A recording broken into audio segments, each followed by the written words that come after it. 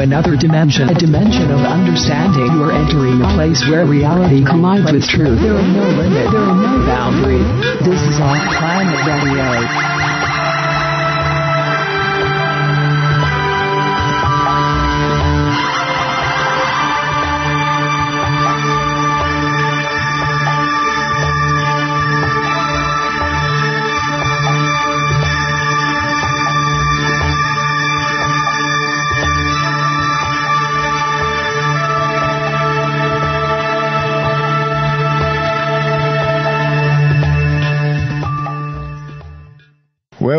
Once again to Off Planet Radio Live. Boy, that cue faded fast, didn't it? Sorry about that. Um, just when you think you have everything down, there's always one more detail in the pipeline. I'm Randy Maugans. This is Off Planet Radio, and you can find us at offplanetradio.com. And I do have my guest on the line, and I'll bring him up in a minute. Couple of details we got to talk about. First off, chat room at offplanetradio.net. I will monitor that for questions, and the way you're going to do that is questions, comments for the guest about the show will be in all capital letters, uppercase. And that way I can see them real quick and I don't have to troll the uh, chat board myself tonight. Sorry, bad term there. And uh, so that's what's going on with the chat room. There's a phone number posted there. And uh, Dave's given me a couple of numbers now for listen live and phone in on the Wolf Spirit line as well. And for anybody who doesn't have the numbers, we'll give those out when we take callers. Um, on the website right now, I want to call your attention to a couple of details. First off, we do have a brand new series with White Wolf von Atzigen, continuing the work in uh, trauma-based mind control and healing from any type, any type of trauma, any type of personal uh, experiences that you've gone through. You want to listen to the healing path on the front page of offplanetradio.com right now. And also an interview I did last weekend with Fernando Vasa. Engines of Mass Creation, the Coming Global Awakening. This is an interesting take on energy because he's not talking about black box technology. He's talking about the internal power that we human beings possess in terms of energy. He comes at it from a completely unique standpoint. So you want to hear that interview. You want to also uh, take a look at the information on the Breakthrough Energy Movement Conference that's going to be occurring in Hilversum, Holland, November 9th, 10th, and 11th. I wish I was going to be there. Uh, good news today, released from the UK. Um, Gary McKinnon will not be extradited to the U.S. Gary McKinnon, of course, uh, cracked into some NASA computers and uncovered what he believed was evidence of um, secret space operations and extraterrestrial activity.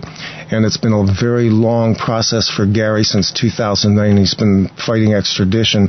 So the word from the Home Office is that hacker Gary McKinnon will not be extradited. And the way they did this, basically they discredited him. And that's the way things work in uh, in this particular realm. Is that once you discredit yourself, you're no longer a danger. Isn't that kind of sad? So um, we're going to talk about a subject tonight that's going to go kind of a little bit on the dark side because it does talk about events that are coming. And as I talked about last week, you have to balance the information that you take in on the internet because uh, there's a lot of it and you have to know who you are and what you're supposed to do and where you're supposed to be. Everybody has a higher self, an inner leaning, a knowing, a God, whatever you want to call it, and you have to deal with information on that level. Don't be distracted. The first work goes on inside of you. And so um, I think that covers all of that.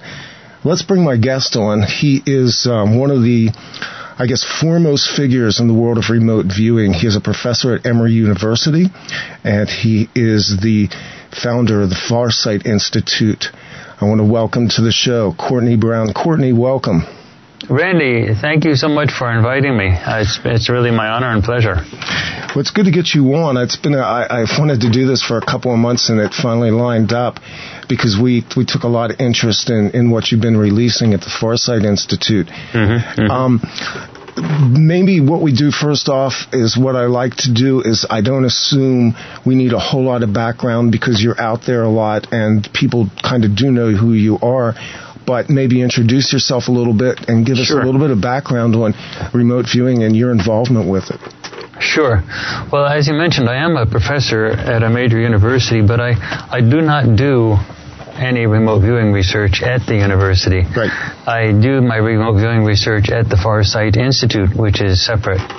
That's important because uh, I'm the leading, I can say that absolutely unambiguously, scholar, academic who studies the subject of remote viewing as it was developed by using procedures that were developed by the United States military and used for espionage purposes, or procedures that are derivative of those data structured, those structured data methodologies.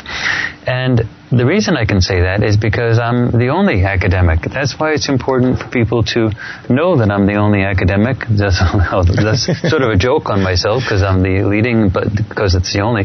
Because the academy, you know, colleges and universities worldwide have not embraced the subject. We're at that waiting to exhale moment where people are sort of holding things back. And 15 years ago, everyone said I was, well, many people said I was just deluded. And no one's saying that now. There, um, there's no one is laughing anymore. You, you never bet against a smart guy with a really big publication record who never backs down. Mm-hmm. you just mm-hmm. don't. Mm-hmm. So I'm a mathematician, but I'm, and an, that, I'm an applied mathematician working in a social science program, but we don't use this stuff there. What I do there is in the university of statistics, nonlinear differential equations, things like that in a, in, in a social science venue. So um, the, the basic idea here is that the the work that we do at the Farsight Institute is not rivaled any place. We're a nonprofit, and the work that we do are scientific science investigations into the using remote viewing into the nature of time, the nature of physical reality, and into mysteries such as uh, mysteries of anomalies on Mars, mysteries of past civilizations on Earth, uh, but even more interestingly, the existence of multiple realities. Um, I, I often like to say something like, Randy, what color shirt are you wearing right now, if you don't mind me asking? It's actually maroon. Okay, well, there's another version of us that's just as equally real as what we are, where there's a where you're wearing either a white T-shirt, or you're wearing a suit, or you're interviewing somebody else, and those those realities literally exist, coexist with us, an infinite number of them, and that seems so unintuitive and so impossible from a classical physics perspective. But we investigate things like that and indeed find very positive support for that being real. And we also investigate things like an exploding planet that used to exist between Mars and Jupiter Yes.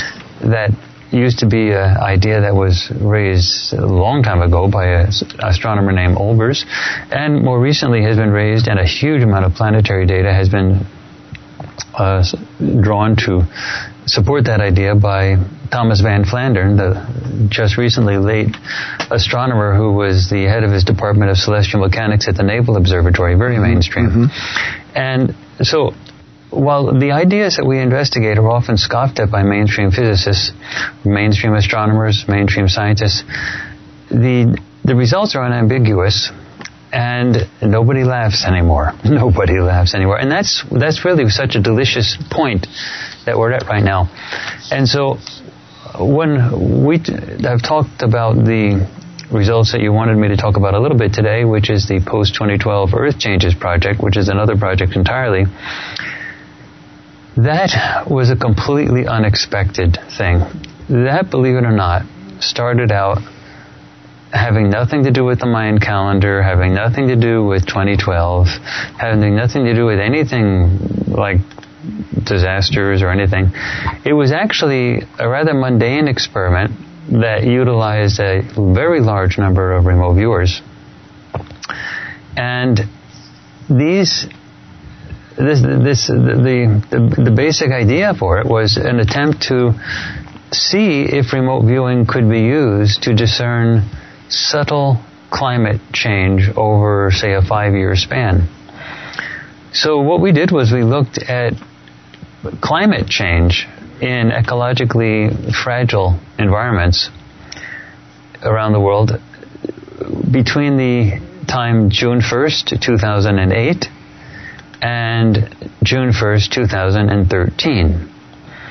And the idea was to see if remote viewing could be used to see if there was maybe a little bit more storms, perhaps a little bit rise in the sea level, uh, perhaps a little bit more ultraviolet radiation because of the ozone hole, whatever. We just didn't know. We were expecting, and it was a test to see if remote viewing could discern subtle things like that. The only problem with the study is it was perfectly nicely, it was un- amazingly well designed I'm pleased to say, because the results we came in were not subtle at all. They were humongous. They were right off the scale. And the most person who was the most shocked was myself because I wasn't expecting this stuff. And I said, and when I explained a little later on how we got the results and why the results are so surprising to us and the magnitude of the results, you really get a real sense that this is really an extraordinary and unparalleled body of data. I want to say that no matter how much we talk about it here, the bulk of what we do at the Farsight Institute, our website is www.farsight.org. That's F-A-R-S-I-G-H-T, like seeing far, farsight.org, because we're a nonprofit. When people come to our website, that's been recently redesigned and is really nice in terms of navigation. Mm-hmm. They, they nonetheless are quite quite uh, challenged by looking at how much we have available for people. And they, for years, they've been saying, you know, I, I need to find some way to sort of where do I start?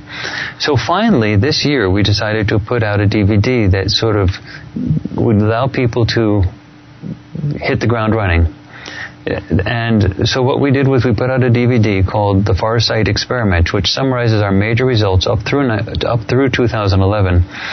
And the Farsight Experiments is really the place people should go, and it also includes the stuff that we're going to be talking about today about the post 2012 Earth changes. And it's important because in the DVD, I tie everything together, all the other projects that we do.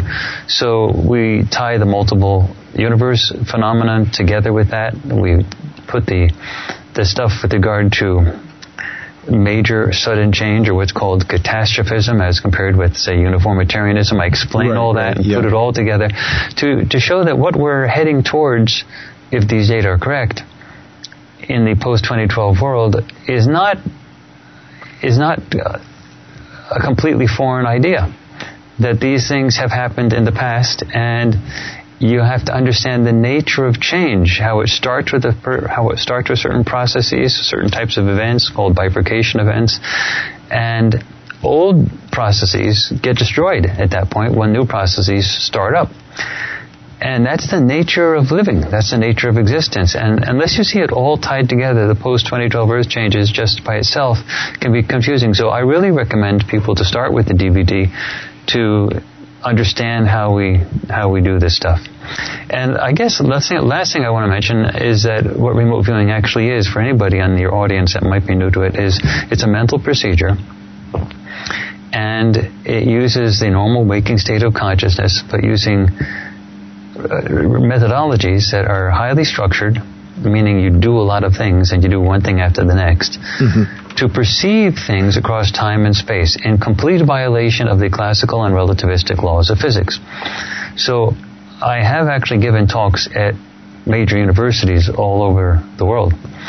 And in particular, uh, while remote viewing is not taught at the university level, I get invited by university. You know, I get invited to speak at universities, uh, and that's that's different from let's say giving a course. Remember, the first major course on gravity was in like the 1930s. Right. I think I think it was in Princeton, and the, and the professor had to apply to be able to teach that course. that was gravity.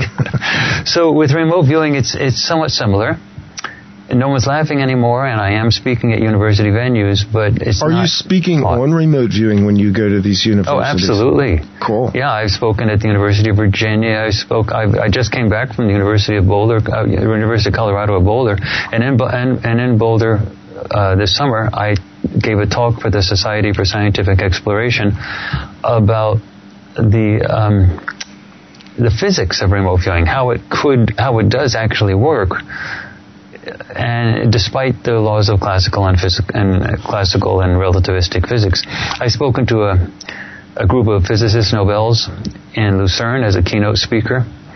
I mean, they're, even they're interested. Very many are very interested because they don't really understand quantum mechanics by their own admission.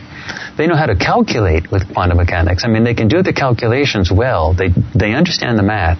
And being a mathematician myself, even though I work within a social science program, but I nonetheless am a mathematician, so I can speak the same language that they speak. So, you know, they often ask me, you know, how, if, wondering if I'm going to give them any insight into understanding quantum mechanics. And I, I, I do have insight into that, and I do think we're actually headed towards a major revolution in science within a very short period of time. I'm also um, very interested in an observation that we just made recently that we've been doing major projects in a multi-methodology way for about six years now, working with people like Glenn Wheaton, who runs the Hawaii Remote Viewers Guild. Glenn was out of Special Forces Intelligence. And also Lyn Buchanan, who mm-hmm. came out of mm-hmm. Defense Intelligence Agency, DIA, and he's trained a large number of people with controlled remote viewing. And I, I worked with with with them and the viewers for uh, like six years, and we were just reviewing recently, and we it was interesting to note that we haven't been like totally wrong on anything over the last six years. Like nothing. The, the, the farthest thing that was possibly interpreted as a wrong result was an earthquake prediction that was a surprise to us because we weren't looking for any earthquakes in Los Angeles. That At we had LAX, the LAX prediction. LAX, yeah, and that happened. That was six months before. Uh, anyway, before it was it was for it was predicted that it was. Um, we, we looked at the target data for LAX to, uh, December 1st, 2008. What were you looking for in that particular sighting? We were actually involved in this climate study. That, Okay. that that was that turned out to be the post 2012 Earth changes, and I was getting so many dramatic results. I said maybe something's wrong. So let's just do a near six month uh, target that we know about. Let's try LAX six months from now. so, so I, we, it was sort of like saying we were getting. Imagine yourself a scientist in a laboratory, and your and your meters are telling you weird things. Right, right. And the first thing you want to do is check the meters. So that's what we were. We were doing this post 2012 Earth changes, and the results were coming back wacky, like big things. And so I said, well, okay, let's really quickly do a like a calibration target six months into the future, December 1st, 2008, LAX, and see if we get an airport. And we got what looked like a devastated, huge earthquake had hit the Los Angeles region, destroying LAX.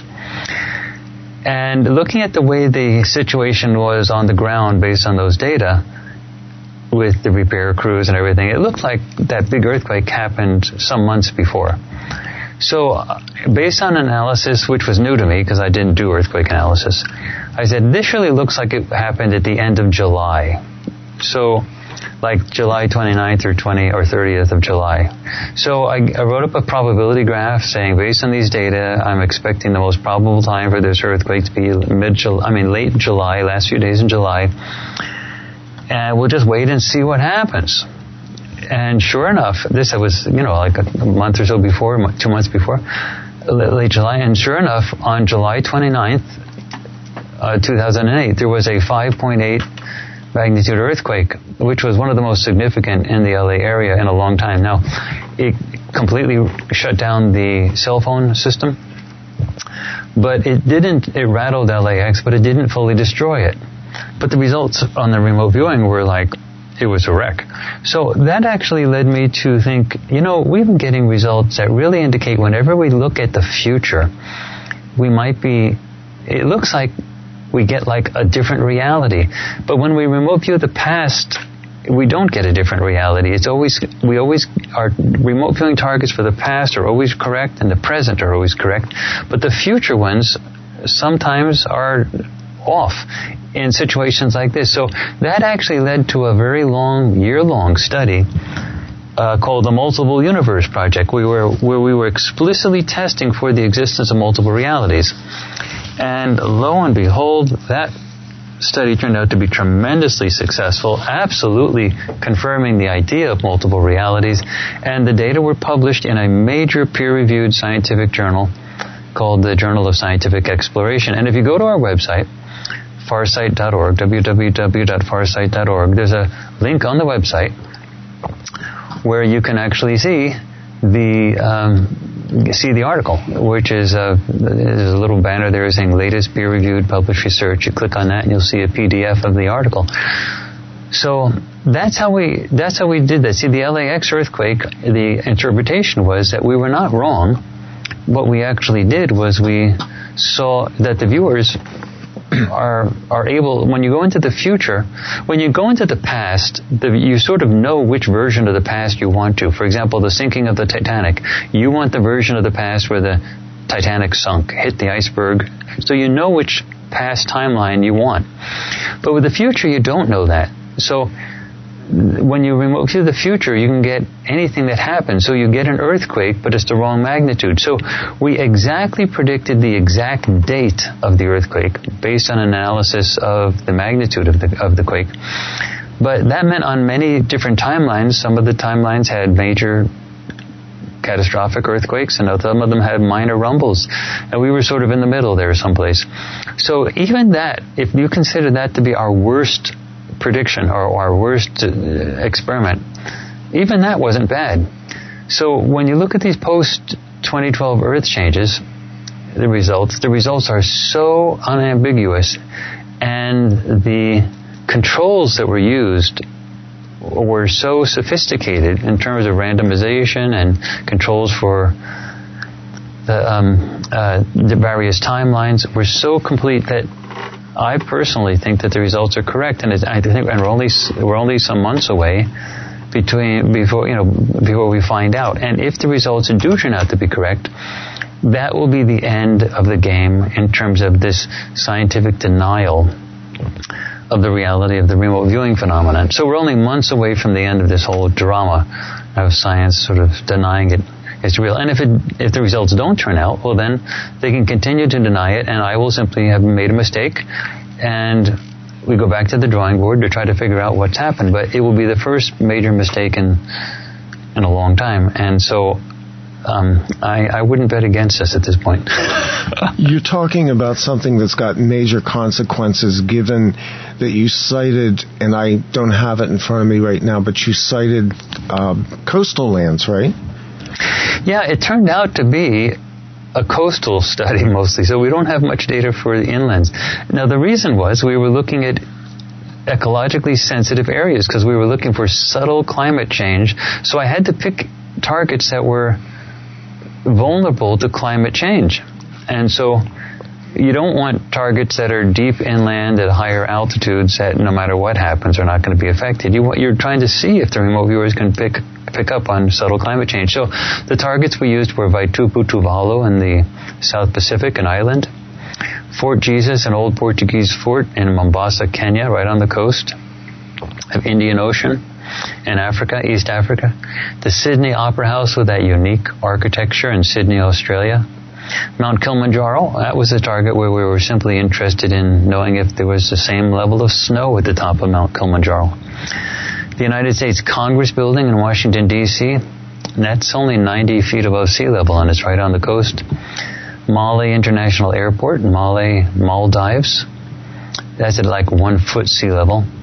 KITV building, one of our great remote viewers, Dick Allgire, has just retired as a uh, celebrity newscaster. He was a mm-hmm. celebrity newscaster for decades at KITV in Honolulu, Hawaii and say Key West, Florida. So we have data for all those places, and the results are absolutely unbelievable. And I, you know, let me pause and sort of ask you where you want me to go with this, but I can sort of summarize what we Yeah, what go ahead and got, then I summarize can- the results. That will give everybody a, a a sense of where we're where we're going to go with this. Okay.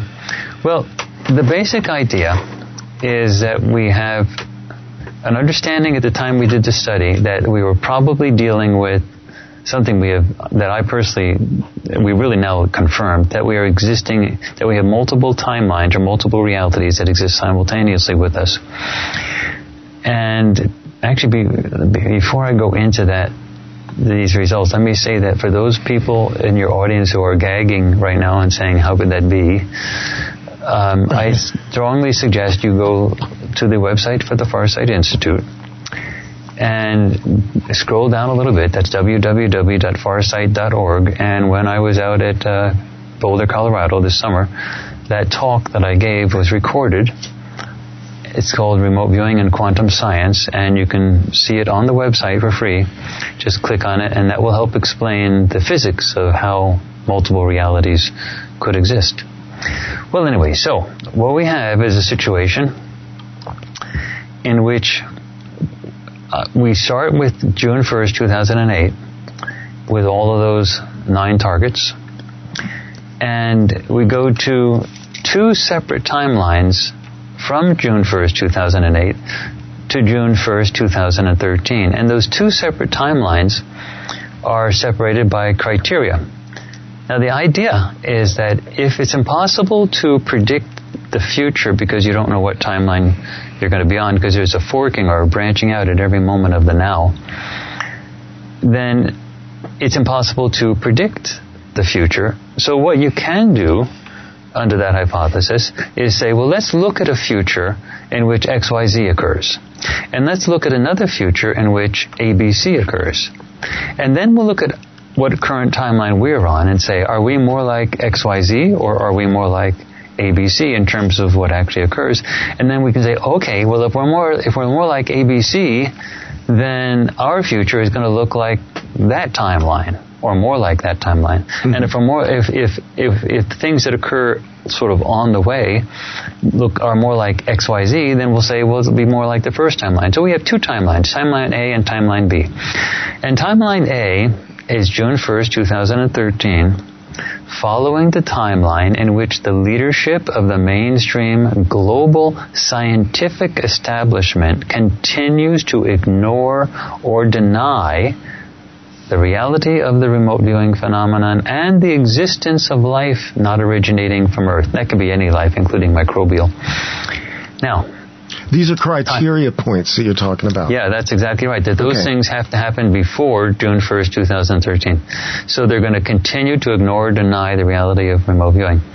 And timeline B. Can, can I just? Why is that an important part of your criteria? Okay, because let me explain timeline B, and Okay. I'll say why that's important. Okay, great. And that's perfect. Uh, timeline B is the same time, June 1st, 2013, following the timeline in which by the end of 2009, which is not our timeline, it already passed, leaders of the mainstream scientific global establishment publicly recognized the reality of the remote viewing phenomenon and the existence of life not originating from Earth.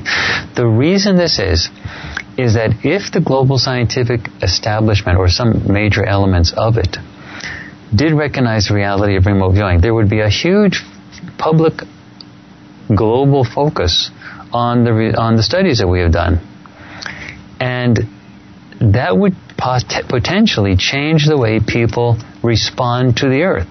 Meaning, they might change, they might phys- physically treat the Earth differently or act differently among themselves based on that new understanding of who we are, why we're here. They look at the other stuff that we do. And so the idea is that if there was a wide global recognition of the reality of remote viewing, it might be picked up in how the climate changes because people are responding to the earth differently. Okay, okay. That was the idea behind it. Now, it turned out to be a wonderful t- criterion to use based on what we actually found. We were not expecting to find what we found. So now we're in a situation where we have really strong results and the, whether the remote, whether the mainstream scientific community ignores or denies the reality of remote viewing or whether it acknowledges it will make a major difference in how we encounter these events. Anyway, the basic events that you wanted me to talk about were in the in the post 2012 or, or sometime before June 1st, 2013, we see the following physical changes across all of those different geographical areas. And again, many of them are coastal. Impacts of what appear to be large meteors of all things, leading to, well, you might call them tsunamis, but they're more like displacement waves, which are waves that get much higher. Tsunamis are like a few feet high. Displacement waves can be like, you know, hundreds of feet high and possible volcanism. We also found extensive and forceful flooding of coastal areas excessive solar radiation and severe storms and weather.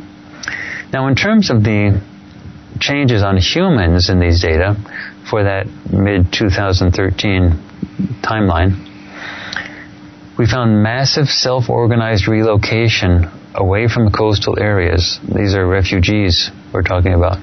And the breakdown of the rescue or notable governmental functioning and all of these data, and I'll explain how much data. This is the largest data collection project ever conducted at the time using really highly sophisticated remote viewers who had trained, to say, a decade or more in the use of these procedures and who had extraordinary public track records dating back years where people could see what work they had done for you know for many many years. Mm-hmm. so you could actually you, it's not a situation where someone comes on late night radio and says i asked my remote viewers to do this and this is what they saw and just says it.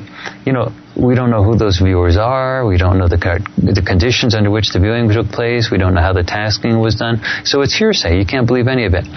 But this is a situation where the review where the viewers themselves had huge public track records and we we publicly discussed and presented all of the methods by which we were collecting these data and had a public verification process for the collection of the data, which I'll mention in a second. Anyway, so we also found in all of these sessions, which is well over 100, 113 sessions, there was not a single rescue helicopter, there was no, National Guard, it was just gone. With the complete breakdown of the food supply system, no grocery stores were working the complete breakdown of the vehicular transport system. People were hoofing it, walking. And extensive loss of buildings near the coast. Now, again, this is a biased study because we looked mostly at coastal data, so we don't really know what's going on inland. But these were like amazingly huge results. So we don't have to worry about this like subtle change. From a scientific perspective, forget about the impact on the planet. But from a scientific perspective, it's ideal because it's a really clear binary result. So if any of these things do happen, and we have detailed data for those large locations, which I can talk about, then the issue of whether remote viewing is real is over, and we run into a second problem. The second problem is that once people become aware that remote viewing is real, they'll also become aware that many elements in the scientific community, many people, were cooperating with governments in the preparation for these events. There are many preparations that have been going on. Yes. And when when we look at times of chaos, times of great tumult, the populace often gets very frustrated. Look at the revolution of French, the French Revolution, and in the late 1800s. I'm sorry, late 1700s, in the late 1700s. Right, right. What you had there was the reign of terror, where they were chopping off people's heads, aristocrats, everybody, and they weren't listening to leaders, governmental leaders, or science leaders. They weren't listening to anybody, and so that was only stopped by Napoleon when he came aboard.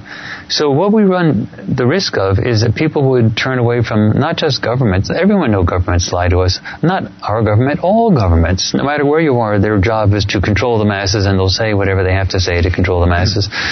But the scientific community would have been involved in keeping a lot of this information quiet. And so we have the, we're running the risk of having the masses turn away from the scientific community as well, and thus we'd enter an age in which is potentially a turning away from the age of reason. And I'm a scientist and I don't want that.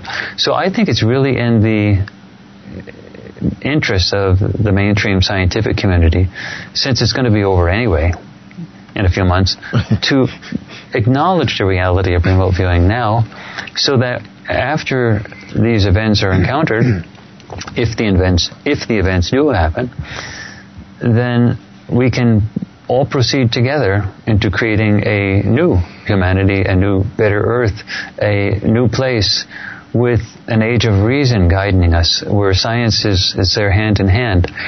And so, uh, some of the evidence that you sort of look at for preparations is obvious. For example, the U.S. completely shut down its manned spaceflight program. That's like yeah. amazing. Yeah. I mean, I mean, we have been in space since the Mercury, Gemini, Apollo. We just gave up. Basically, my entire lifetime, we've we've been in space. Yeah. It's amazing, and they're presenting it like the NASA scientists just woke up one morning and said, "Oh my gosh, we forgot to get a replacement for the space shuttle. What are we going to do? How did this happen?" But you know, these PhDs need to pay for their mortgages just like you and I do. so it's it's just not credible that they simply forgot. And then you have the Svalbard Global Seed Vault, which is now finished and fully stocked, where every agricultural seed on the planet is in a vault that's nuclear bomb proof, tsunami proof, displacement wave proof, everything proof in the islands in nor- northern Norway. And you could say this is just sort of a quirky Norwegian project, but if that's true, why did the head of the United Nations with all of his staff formally inspect the facility? I mean, something's going on. And then we have the U.S. global debt. All the presidential politics that's going on right now is interesting talking about the debt. The reality is we're in so much debt nobody can pay it off. Right. So so the question is they're they're obviously pulling out all the they're, and they, they're going into more debt. There's no way we can pay it, period. And, and it's just piling on a more after more. It doesn't matter who's president. So the idea is that it's not just us, but also Europe. People seem to be pulling the economic resources out of the economy as quickly as possible. Sort of like there's going to be a global reset or something. And then there's digging all over the place. Um, for example, we have these huge underground facilities under our military bases in the inhospitable, inhospitable regions of the West that the masses cannot get to. Well, there's bases um, all over the country. There's bases not that far from my backyard here in Pennsylvania. They're under yeah. the whole Northeast corridor. Yeah. Yeah, but they don't advertise where those are, and the masses really don't have an ability to get right, into right. them should something happen. On the other hand, Russia and China, now I'm not criticizing any country, especially not my own. Uh, it's just that there's differences in cultures. The United States tends to focus on the elite and the military in terms of overall protection, while China and Russia tend to focus on the masses, sort of, which have both countries which have huge building projects inland that look like they could house millions of people. Exactly. China, for example, is building subway systems that are up to two, up to 200 miles of subways under each of its major cities, and it's a 24-hour, 365-day your project, the shifts are 12 hours for every for every worker, and it's a crash program that's supposed to be finished this year, like in a month. And you can sort of say, well, why the rush? Why not stretch it out over another two years or 20 years? But it doesn't make sense. Russia in 2011 decided to add another crash program of two of 5,000 new nuclear bomb shelters for Moscow alone.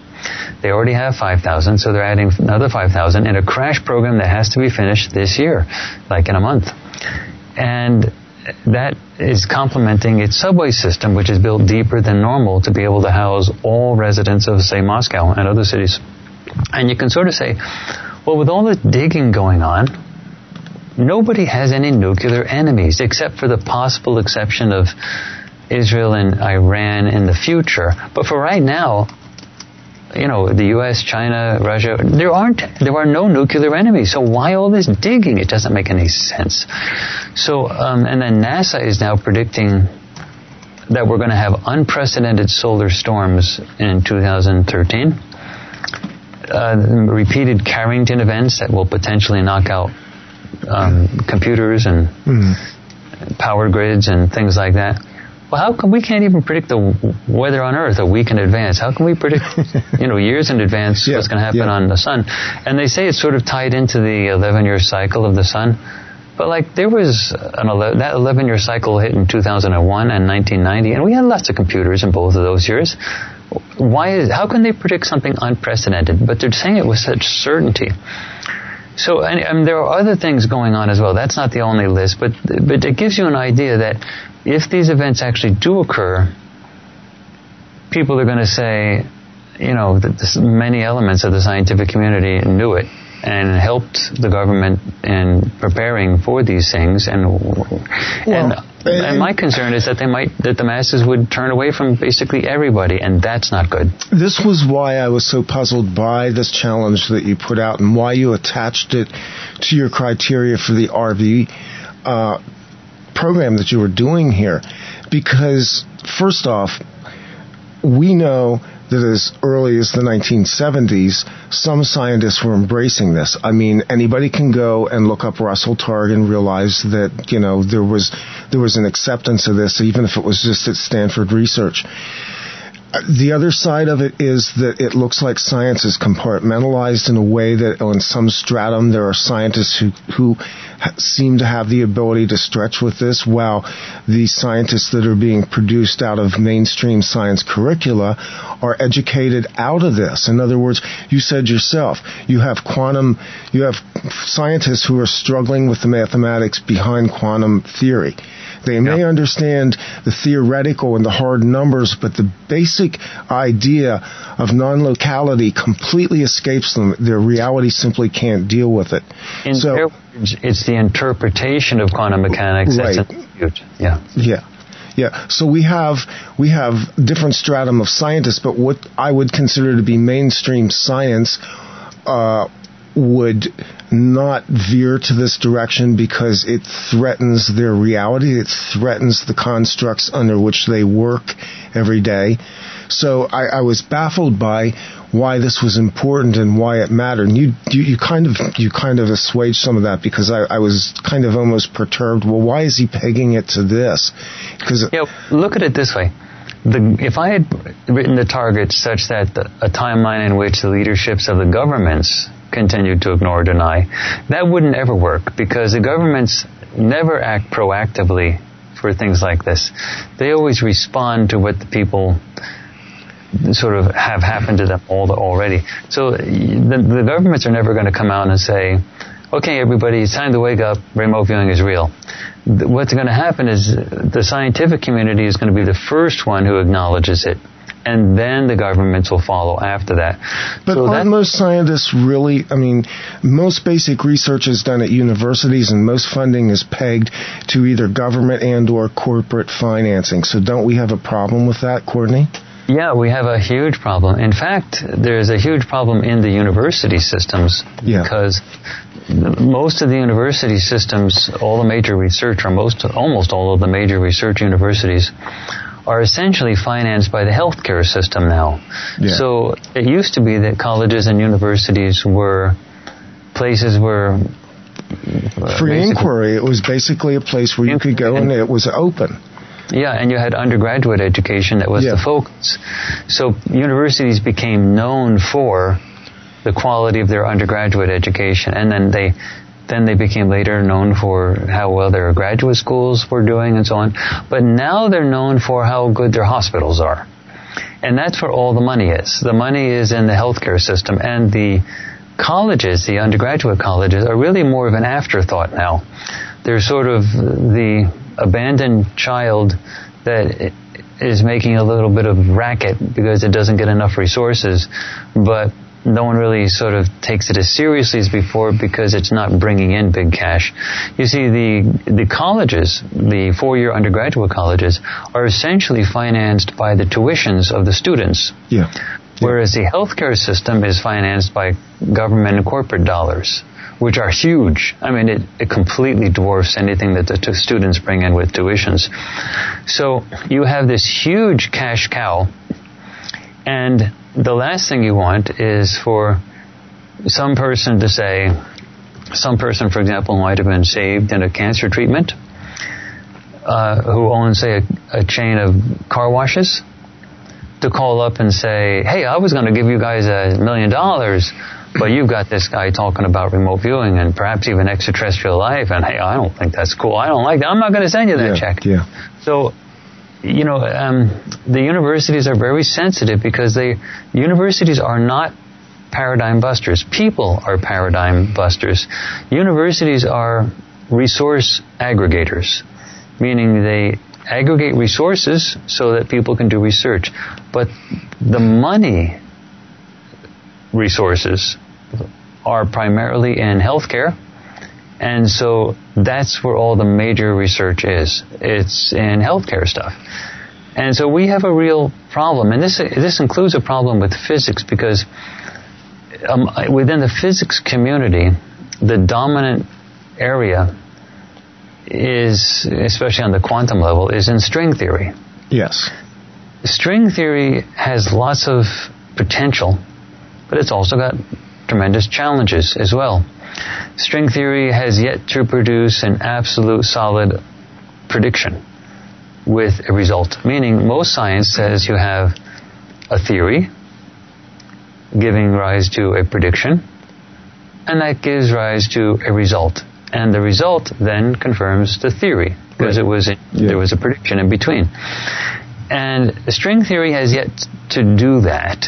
Now there's been talk about maybe it's getting close with this so-called God particle that the that the uh, the, new collider is looking for, but really that's that's not going to settle uh, settle matters. The the issue is that scientists really don't know and understand the the correct way to interpret quantum mechanics, and the money that goes into physics is almost entirely monopolized by the string theorists.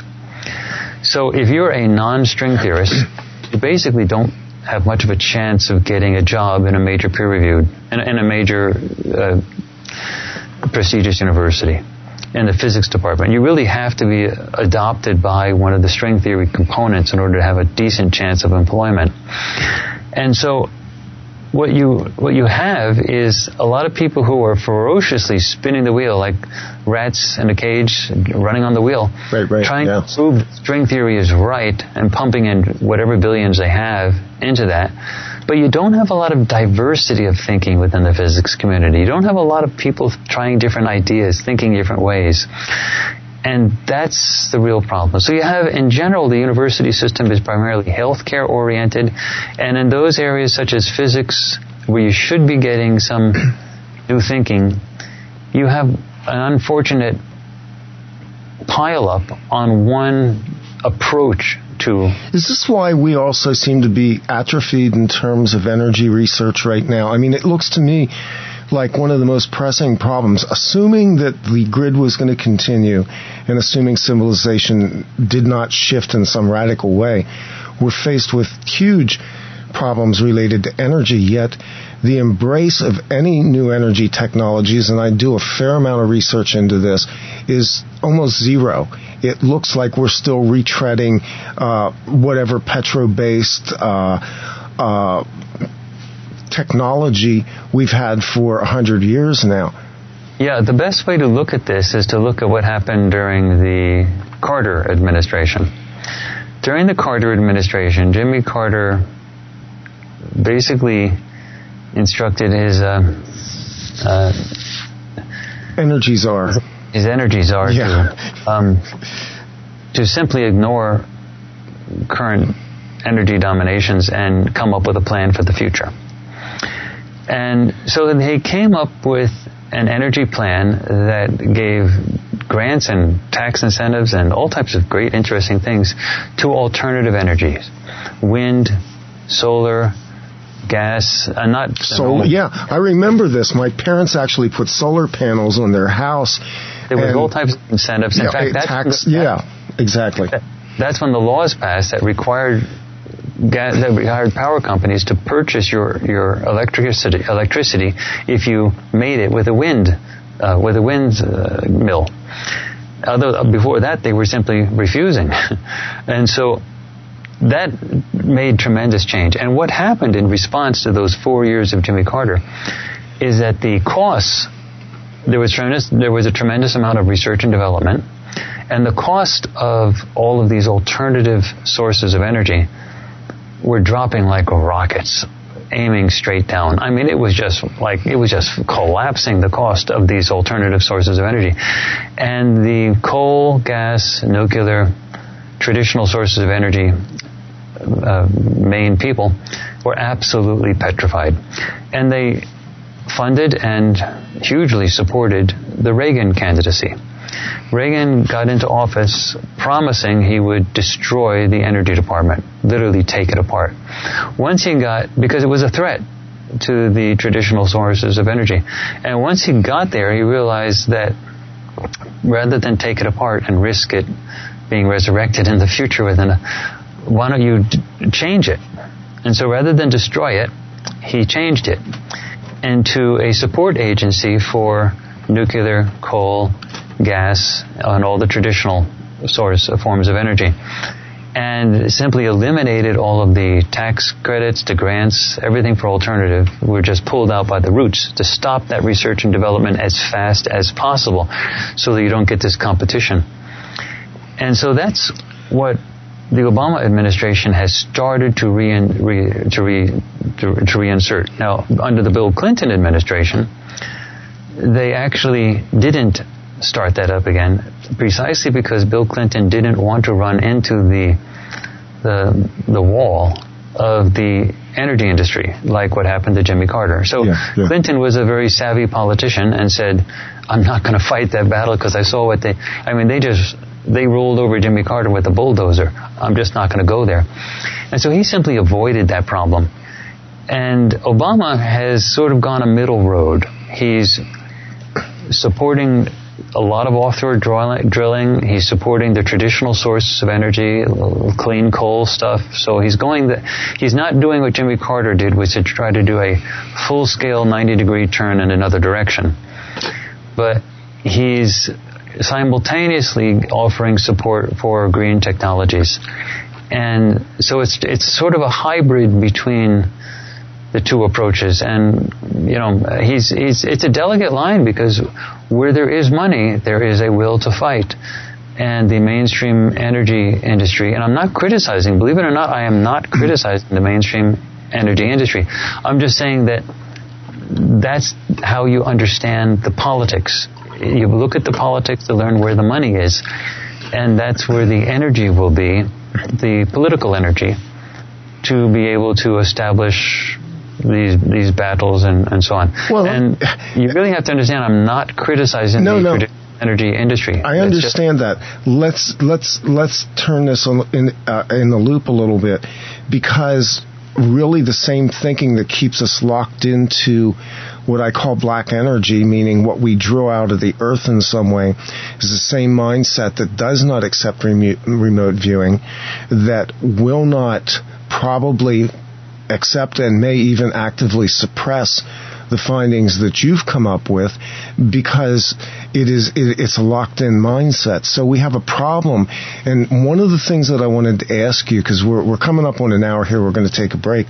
Um, if, for instance, the embrace of remote viewing and uh, the attendant consequences of that occurred by mainstream science tomorrow what would be the implications in terms of the media and then the general public? Because now you're dealing with perceptual levels that have been baked into the public consciousness for as long as everybody's been alive, and you've got a media that I'm not sure is willing to accept nor is open enough to report such a thing. What what would it look like?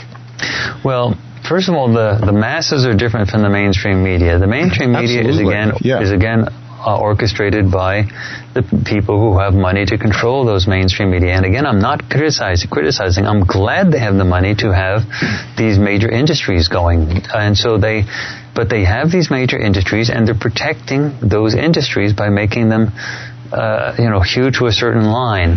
However, if there was a, a look, Randy, to be quite honest, if it wasn't for the fact that these 2000, these post 2012 stuff were going, the, issue would not be forced, and we could go on another hundred years Yeah. denying the existence of remote viewing. It's only because this, these events seem to be coming that the reality of remote viewing is going to become so obvious that the mainstream scientific community won't be able to ignore it. So, what will happen if they do acknowledge it? Well, well, the first thing that will happen is that there will still be a, a gasp from the mainstream media outlets. They're very reactive. They're not proactive. They will sort of think it's sensational at one point. They'll, they'll not know what to do with it on another point. They'll be frightened a little bit about getting caught into something that could turn out to be scandalous. So the very first thing that we are going to have to do is conduct a public demonstration of remote viewing using all all of our scientific controls, which we've mastered over the last 15 years. We finally figured out and done repeatedly public demonstrations of remote viewing that are so unambiguous that they'll, they'll turn anybody around. So we, we know how to do that. We'll conduct those public demonstrations of remote viewing that will have unbelievably nice controls. Some ones that we've done before. It won't be a surprise to anyone who's watching us So that's and and that will sort of crack the ice. And then what I'm expecting to happen afterwards is that some scientists will say they'll look at something. I don't know what it is, but they'll say, "Oh, um, they cheated. This didn't happen." And so we're going to probably be asked to do it again, and then we will do it again, and it'll be over and over until it becomes sort of an iterative getting used to it. And then eventually we'll say, look, conduct, conduct your own demonstrations. We've shown you how it's done. You, know, you don't have to believe us. But the demonstrations we do will have all of the scientific controls. But no matter how many scientific controls you put in, there'll still be somebody who comes up and said, um, you know, you must have had something implanted in your brain um, that had a little transceiver in it that was whispering things in your ear that nobody saw. They'll come up with yeah, some yeah. crazy idea. It's always a rigged Like, game, right? Because Yeah, we're so- dealing with a perceptual level that still can't accept the realities that ha- are beyond programming exactly right. now. But yeah. our response to that will be, fine, that's fine. You can say that if you want. Here, do a brain scan. You can see that. And now let's do another demonstration. So we'll do it again. So the idea is this is, and then we'll have to eventually take this on the road and go to various countries around the world and do demonstration after demonstration and let people see it and get used to it until it sort of sinks in.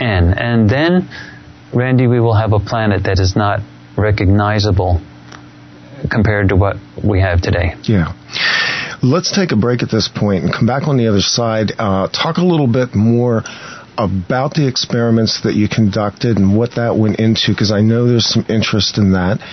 And uh, we'll also talk a little bit more at length about some other work that you've done, including the uh, the uh, remote viewing of Jesus project. And uh, so we'll take a break here at this point and come back on the other side and talk a little bit more about remote viewing and some of the other interesting things with my guest, Courtney Brown. We'll be right back.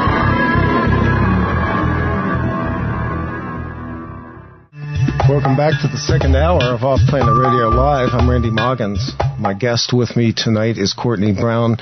We are talking about remote viewing, and uh, I know there were some people out there that were questioning it. We went kind of uh, a little off of it, but there were good points to be made, and uh, there's a lot of interviews out there with Courtney, and he goes into a lot of detail about it, and our conversation goes where it goes. I don't come in with an agenda, so very interesting uh, topic that we've been talking about. And Courtney, you're there with me again. Yeah, you know, the only thing I might sort of wrap up our post 2012 Earth changes study, which really started out as a climate project study, is that to understand the complexity of the study so that it's simple and you understand how profound it is, I really strongly recommend people to get the DVD, The Far Sight Experiments. It's on our homepage, www.farsight.org. And it's not just just one study, but you have to look at all the other studies we've done to make sense out of the multiple timeline stuff and the idea that major sudden changes is the norm. It's not the, the, the thing that hardly ever happens.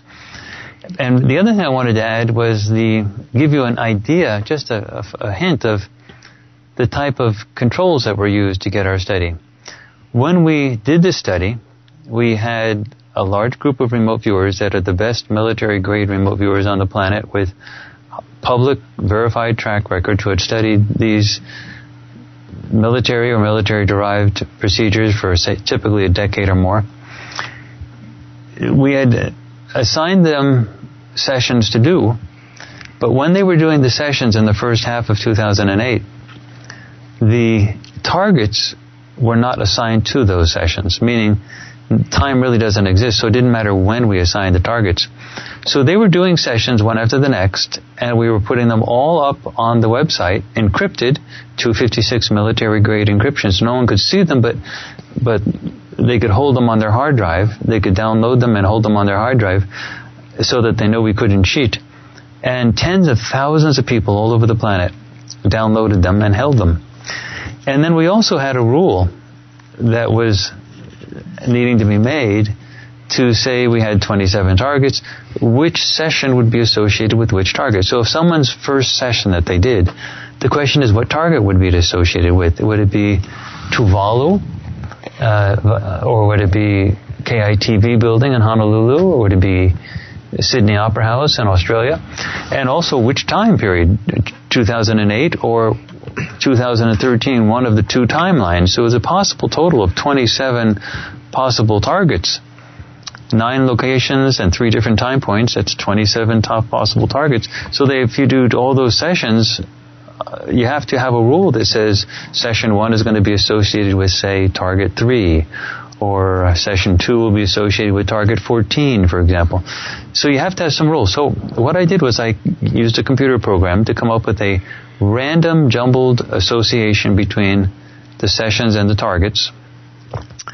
And so you'd have a rule. Session one is associated with target 20, session two is associated with target three, things like that. And then I use that same computer program to come up with 999 different versions of that jumbled rule. okay, okay. So now, and uh, the thing was, I took that file and put it up on the website in scramble in, in an encrypted form.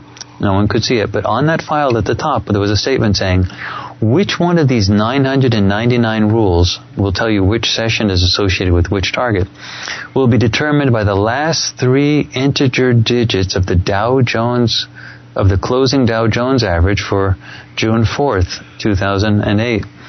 And so all of the sessions were put up before, way before that, like by, in April and May at the latest of 2008. And then we waited and the whole and the and this rule with all 999 versions of it was put up like early 2008, encrypted, and so on. And then we waited till June 4th, and then I gave out the password, put it on the website, so people could look at that file. And at the top of that file it said the Dow Jones number for the last three integer digits. Look at that, and that will tell you which one of these rule works. Everyone zipped to CNN or someplace to get the Dow Jones closing average for June 4th. Uh-huh. And the last three integer digits, I think it was 243 or something like that. So you went back to the file and looked at the 243rd rule, and that was the one that told you which session was associated with which target. So the point is, it was physically impossible for anyone, including me, anyone on the planet Earth, to know which session was being associated with which target at the time they were doing their sessions. It was perfect, squeaky clean, scientific.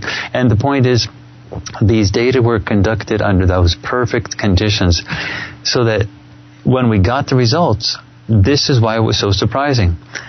Out of the 113 sessions, that was for these quality remote viewers, nothing like this had ever been tried before. Those many good remote viewers, public track records, knowing who they were, that works. This is not hearsay where you just have somebody saying my remote viewer is all XYZ. This is where the data were held by the public, the target associations was held by the public. Everything was totally randomized. Wasn't determined until the Dow Jones number happened, and that happened after everybody had all the data. I mean, it was perfect. When it was all looked at, and we got the Dow Jones number and got the rule and looked at it and put it up on the web, um, the 200 uh, of the 2008 sessions, they were for the 2000 and, you know 2008 time period. There were 37 sessions, and out of those, only two had any flavor of disasters mm-hmm. or any type mm-hmm. of two out of 37 only had any flavor of that was essentially zero for the timeline A which is where the scientific community continued to ignore or deny the reality of remote viewing 20 out of the 38 sessions for that time period had total complete wipeout disasters total complete and out of the timeline B, where the scientific community did uh, recognize the reality of remote viewing, it was a little better, 17 out of 38. So basically, for so we were in, at, as you went through this, then we were also in a progression parallel paralleling the actual uh, remote viewing itself. In other words, there was a progression to this. Yeah, in fact, when you look at it, it's a binary result. There are there's essentially no disaster content in 2008, but in 2013, uh, more than 50% of the sessions had total wipeout disasters. And Randy, this is the key. It was impossible for anybody when they were doing the sessions to know whether they were doing a 2008 or 2013 session. Okay, so nobody could have known that. So let me say maybe this makes it easier because I know this is tough for people to understand. There's a deterministic a- aspect to what you were using. In other words, the the fact that as we move through the RV thing, that that con- I, I guess you call it a control factor, uh, accept or not accept remote viewing became a determinant in the outcome between the two timelines. Exactly. Okay. Exactly. Okay. Exactly. In That's fact, spacey stuff. That's hard for people to wrap their minds around. In fact, what it tells you is that these futures exist right now in a deterministic way. These futures are there there is a future where the scientific community continues to ignore, deny the reality of remote viewing, and there is another future where even as early as 2009, they did publicly recognize. Now, if before the end of, if for example before the end of this year, I'm just saying that as an example, there was some type of mainstream recognition of science of remote viewing as real, then we would be more like that timeline, timeline B, where the reality, even though timeline B said it hadn't by the end of 2009, the fact that it did happen before 2013, June 1st, makes us more like that timeline B. So, and the results did seem to indicate that it did help a little bit. Actually, significantly, it helped uh, with the results. Of, but I mean, there were still the major disasters, but there were people cooperating more mm-hmm. in the second one. Anyway, so what it basically says is that those existences deterministically do exist, but Randy, this is the key. We live in a free will probabilistic universe. So you can yes. say, how can we live in a free will probabilistic universe if these if these realities exist in a deterministic way? Because we have free will to decide which reality we're going to want to experience. That's the key. You see, we can steer ourselves. These realities may That's what. I've been saying for a long time. Yeah. Yeah. These realities may exist, but we don't have to experience certain ones. Another version of us will experience it, but we don't have to experience it. We can change the direction. We can, for example, that, that you're driving down a road and you have many intersections and you have the opportunity to drive down any one of those intersections and going off in any direction. Those roads all exist, but you get to decide which road you, you, you choose. By choosing one road doesn't mean that the other roads don't, don't exist. They are still there. Just that you're choosing not to experience them in this particular reality. And that gives us free will. And by bringing this information from the future back in time, we allow ourselves a, a level of control in the evolution of our life, of our existence on this planet. Yes. That we didn't have before when we were blind to all of this. One of the questions that was was was presented on the chat room, uh, I'll just kind of drop this out here do the people who tell the remote viewers the target, I guess that would be the monitors, know what the target is? Or is remote viewing a double blind test where they do not know the target in advance? Well, that's a great question. It differs depending on who's doing it, what studies. In all of our studies, we don't use a monitor. So in our studies, uh, the sessions are done blind with no monitor. Now, our studies typically go, for example, the climate study goes way beyond double blind. Double blind makes it means that that not only do you not know the target, that's considered blind when you're remote viewing, but you don't know the target. That's a minimal thing. But you also don't know anything about the um, the person assigning the target. Okay, our studies go beyond that because the targets don't even get don't even exist at the time that the sessions are being that the sessions are being okay. done. Meaning the, the, the, the targets are being assigned not by a person, any person.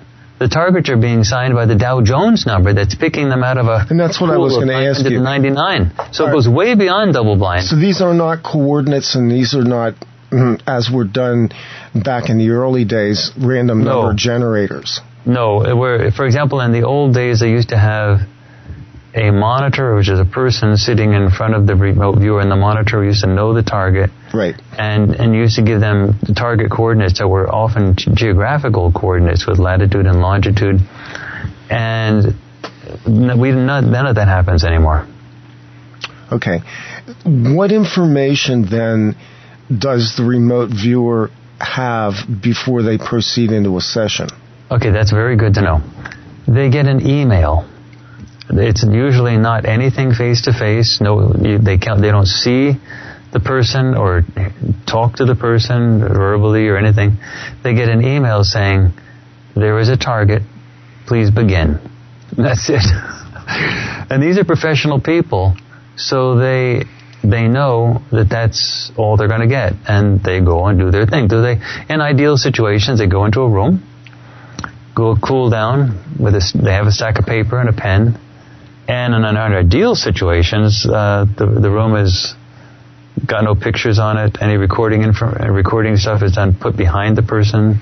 The room has got a table in it that's in the center of the room, facing a corner, and not a, not up against a wall. Mm-hmm. Um, things like that. But you know, people have different situations. But ideally, it's nice, and they just start doing their procedures and come out an hour later with 10 to 20 pages of detailed data describing the target. Okay. So now, the target may not exist at the time they do it, but it's describing some target, and at some point in time in the experimental design, the session was going to be associated with the target, and then somebody gets to compare the session to the target. Okay. Now, you have pretty well defined methodology for remote viewing, both in the way you teach it at Farsight and also the way it was performed in the military in terms of protocols. Actually, um, Randy, can I interrupt you for a second? Sure. We haven't actually taught remote viewing um, since the late 1990s. Okay. We have actually been um, so you're not you're not doing any any teaching anymore with art. Uh, actually, I, I, well, I I personally have a free 18 hour, 24 lesson audio course that's mm-hmm. available on the Institute's website on scientific remote viewing.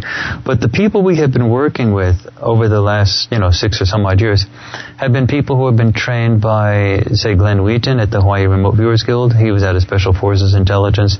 Or, or Lyn Buchanan, right. who's out of Defense Intelligence Agency. And it's basically their viewers.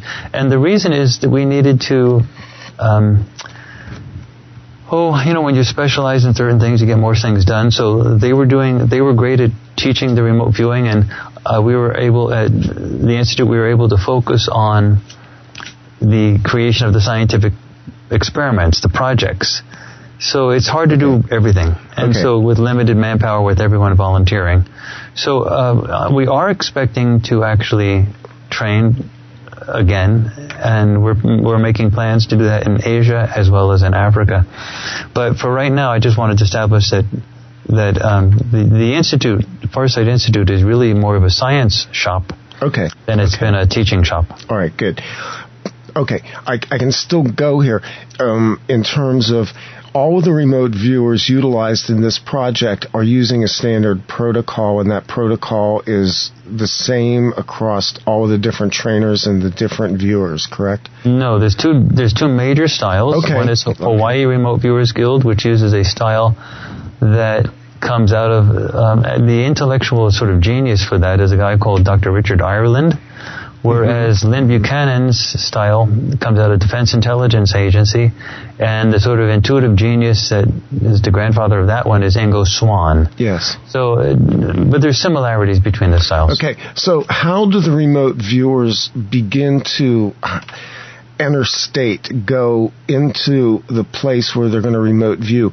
Do you use distraction methodology, or how does how does that happen? Well, sometimes in the teaching process we do just to get some initial experiences going so people can sort of believe that it happens. So if they get a few good results, they'll say, oh my gosh, and then they settle down. Mm-hmm. But for, for professional remote viewers, they don't do that. For, for, for, for professional remote viewers, they start with a cool down period, which is to calm your mind down so it's not so noisy. I typically start all of my remote viewing sessions. I typically don't do remote viewing for these projects I, because I'm normally the I'm the chief investigator. But when I do do remote viewing, I typically start with uh, meditation.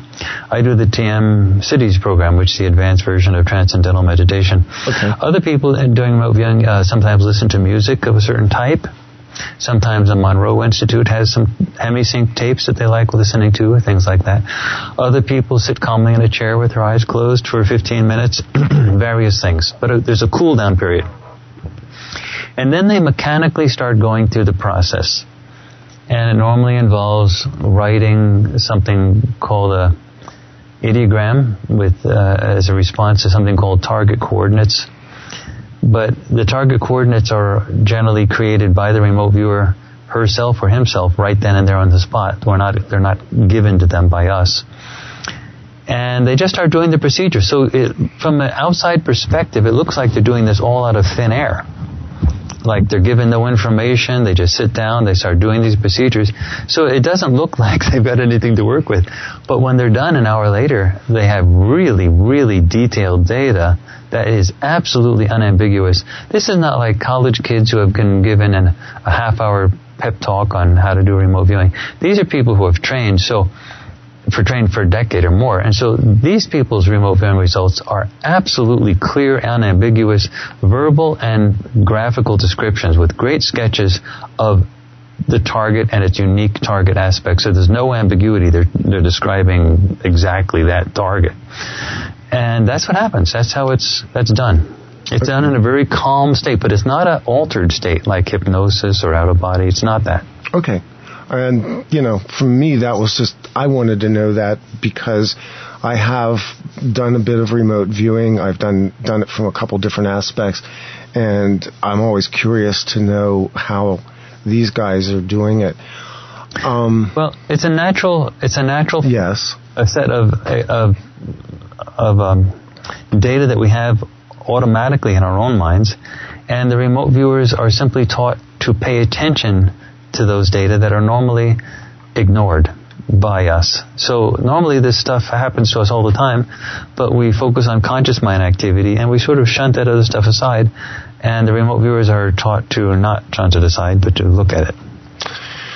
Another question that's been asked is, are you personally preparing for what's coming? Yes and no.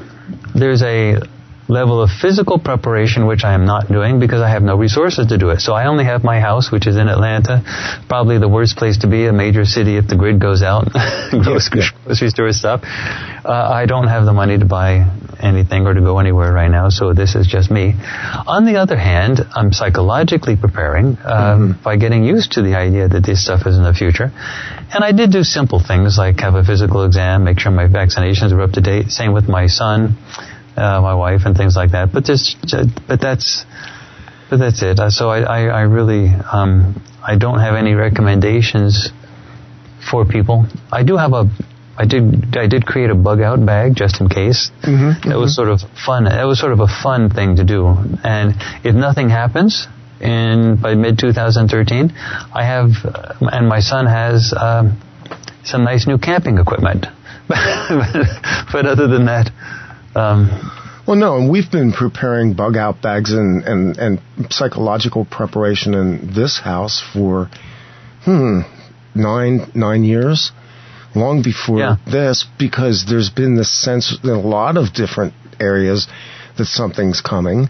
And Yeah. just preparation, and I, I, you know, I'll just say this. I used to be a Boy Scout leader. I taught preparation, so why would I not practice it? Yeah. So we have, for example, I have my son and myself and my wife. We we have the ability to go, but we have no place to go. Does that make sense? no, I actually kind of kind of do understand that.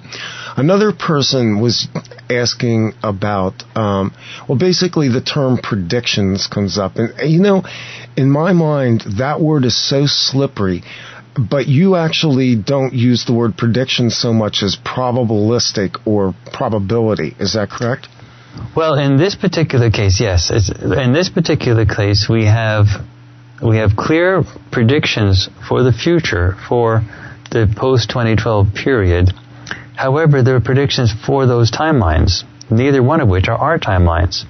So, what we are saying is that depending on what the mainstream scientific community does, we will be more like timeline A or more like timeline B. And thus, we are indirectly predicting. So not, not exactly predicting, but we're saying we're going to be indirectly predicting what our timeline will be like. The theory here is that to make a prediction, Randy, is essentially impossible for small things. Because a small thing, like what color shirt you have, that really affects hardly any other timelines. So it just doesn't have any any leverage across timelines.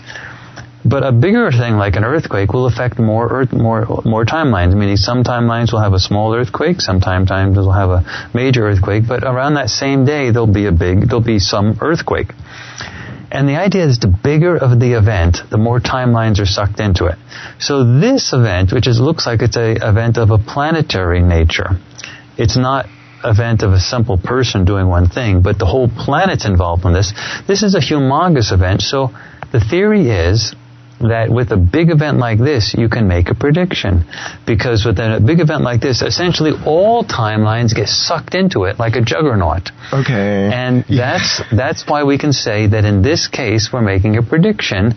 Because the event is so large, it's hard to miss it. It's like driving into the barn door. You just can't miss it. It's too big. So you're Uh, basically saying that at some level this becomes an event horizon and it becomes unavoidable globally on Yes. or con- is it a convergent timeline? In other words, and I and I've talked to other people who are remote viewers and even people that were in Looking Glass and some of the other government projects. And they've said that basically, yeah, there's a singularity where timelines converge into one consistent timeline that then is the event. Yes, that's what it looks like. And I think the key is that the larger the event, the more you have that type of convergence. And the smaller the event, the more divergence you have, and it's almost impossible to predict the future. So, this is a very key thing. Now, the reason I can say this is we did that multiple universes project that lasted for a year, and the data and the, the results were published in the Journal for Scientific Exploration, which is a leading peer-reviewed scientific journal. And again, people on the in your audience can see and read that article by going to our website www.farsight f a r s i g h t dot org and clicking on the the the button that says latest peer reviewed research and you can read the article. So the the idea is that we tested the I they tested the notion that if there are multiple realities, the only way you could actually deterministically pick out and remote view a future reality would be as there was, if there was somebody in the future who absolutely experienced that reality in their past. That meant that we had to set up an experiment in which the sequence of events was first the remote viewing sessions would be done, and then some event would happen in the world, any event, and then after that, the tasker or the person who picked the target would pick the target. So let's say you have three months. You start with January. All the remote viewers, say all 10 of them, remote view a session. and for a target. Now that target happens in February, so nobody knows what it is. It's not happened yet. No one knows what it's going to be. But in January, you take those sessions, you encrypt them, put them up on the web, let tens of thousands of people download them, and then you wait through all of February for some event to happen, any event. And then you wait till March, and then the tasker in March says, well, let me see here. I wonder when I'm going to assign all these remote viewers to remote view and they're going to and I'm going to pick it out of anything in the world that happened in February. Now, mind you, the sessions were already done. And they're on it, zillions of people's hard drives all over the planet. mm-hmm. And the guy is in March saying, ah, let me see what session, what target I'm going to assign them. It sounds crazy. At this point, you probably need to go to a chiropractor because I've twisted your head around so much. But the, the idea is that the person in March then says, okay, I'm going to assign them how about the tornado that whipped through Mena, Arkansas? Yeah, that's a good one. Now, the tornado didn't even happen in January. It happened in February, and it wasn't even picked till March. But time doesn't really matter. So we take that that tornado, to put the target up on the web, plus a password to decrypt old sessions, and what do we get? Perfect sessions that describe the target, the, the tornado whipping through Mena, Arkansas. I mean, and you know, and then over, and we do this rolling in a rolling way, month after month after month, and after a year of these things with very diverse targets, space shuttle landing, uh, musical event, Macy's Day Parade. I mean, it goes on and on and on. Um, it becomes very convincing, which is why they published it in the Journal for Scientific Exploration. Now, those were predictions in a sense. They accurately described in a deterministic way something that happened a month after the sessions were done. But in another sense, they weren't really predictions because we didn't know what the set, what the target was. So we had perfect descriptions of this future event, but we didn't know what the target was until March, until two months later. So a prediction is sort of when you say, tell me what's going to happen in 2013 at the Sydney Opera House. That's sort of a prediction.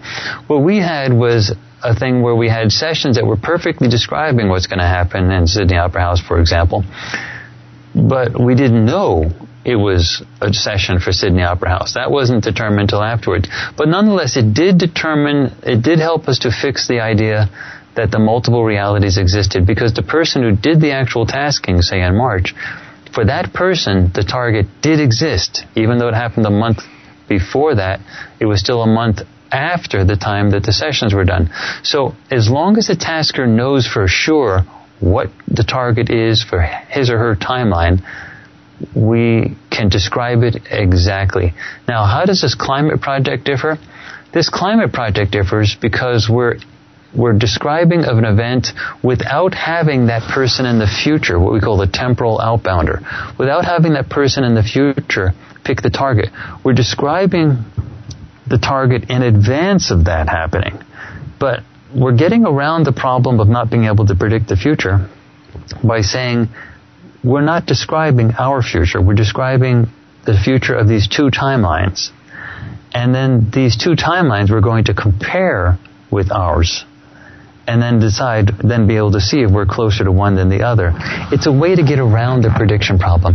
And the issue is that if the event is sufficiently large, like it's global, then it moves to a point where you can say, okay, let's cut to the chase. We're going to make a prediction. It's a global event, so all the timelines have to funnel through it.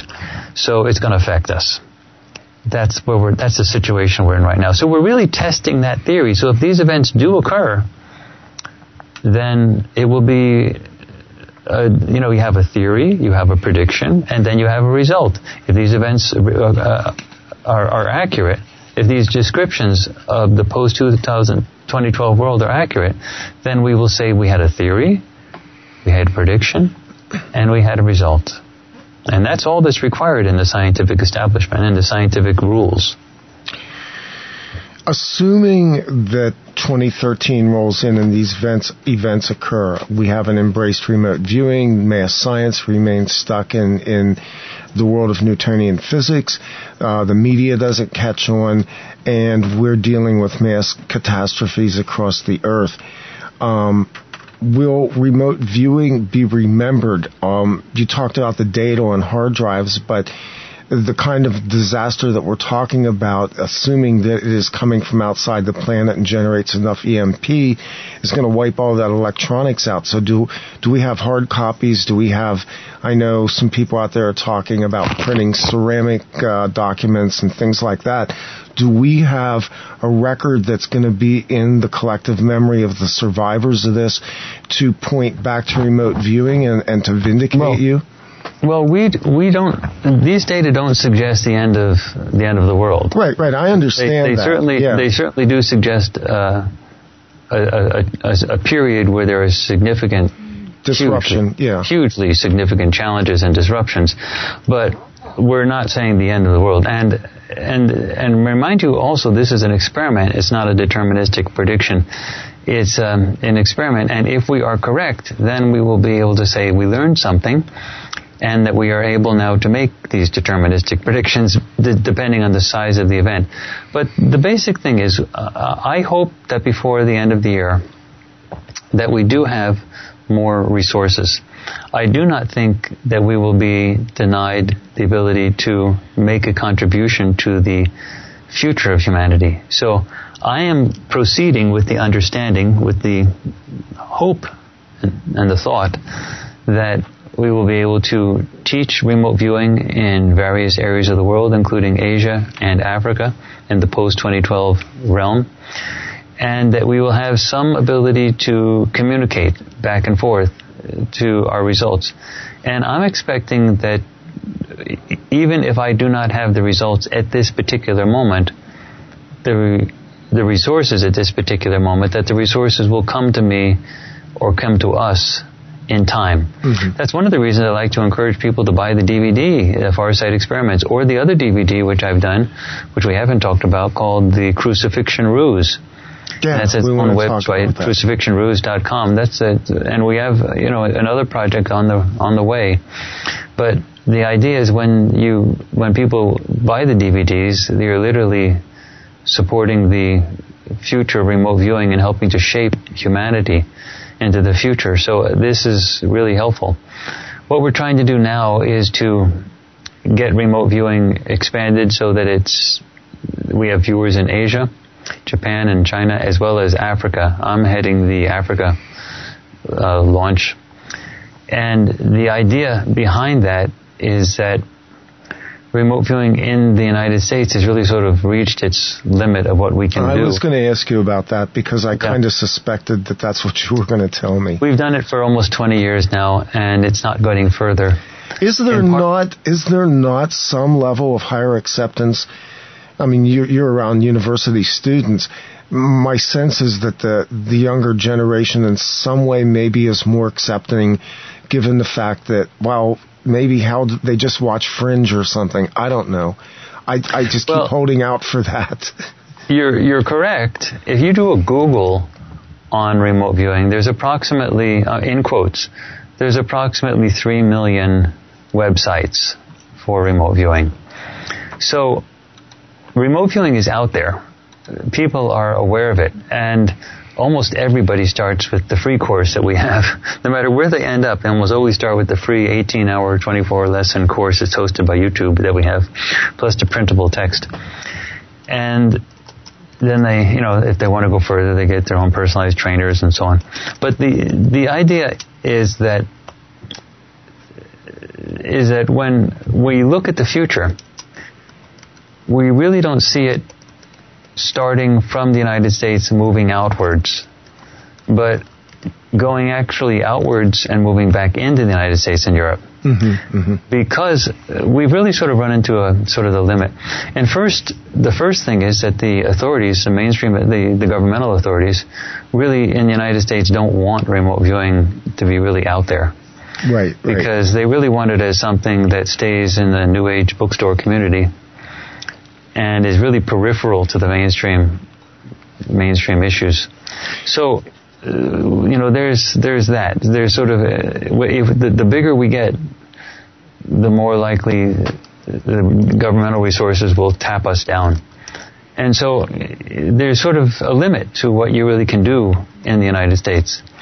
And in addition to the United States and Europe, there's also a financial problem that has nothing to do with the government.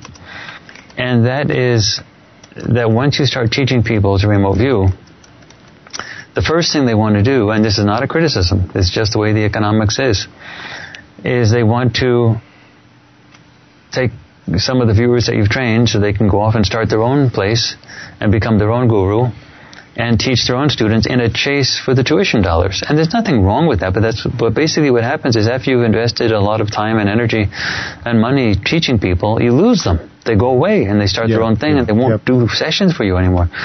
And so that same process happens to them. And so what has basically happened is you get people doing remote viewing where they don't work with people for long. They they cycle through constant newbies, constant new viewers. This people is who want Planet to Radio. go for a one week course, and then after that they fill up another course for the one week course. But you don't get people who study with the same person for like 10 years in order to get really good in a dedicated manner. You get teachers to go through a constant cycle of newbie students and and then they just go on because if they invest a lot of time in a few students, those students break away after a while and you lose them and you sort of say what was it what was it good what what good came out of it. Now in Asia there is a different culture. They have the money. They have money to to chase after yen or whatever. But they have a culture where they like to work with their original teachers. Right, and right. so they like having their own dojo, just like everybody. But they also like having a continuity and to being able to do projects and to be involved with the original people that started things off. So you don't, you don't lose them, even though they would go off and start their own place. And with Africa, it's a totally different setting. With Africa, they have, for example, in Kenya, they have a fully educated workforce. The educational system in Kenya is absolutely first rate. But they have absolutely no jobs. There is no money at all. So you have a fully educated workforce that speaks to King English, and there are no tuition dollars to chase. There's, they can't run off and start their own dojo to start their own group to chase tuition dollars because nobody has any money to do anything. Mm-hmm. So they're going to be loyal viewers for you long into the future. And so that's that's why we're thinking of Well- Asia and Africa as places where we can expand You know, hearing- and work with people for the long run. Hearing you talk about this, it seems like we have a cultural clash here in America of high, highly individualistic people and a value system that Yes. doesn't place a value on things that they perceive as esoteric or spiritual. I'll use that word because I consider remote viewing, you look at it as a scientific discipline and you went at it that way, which I think is useful.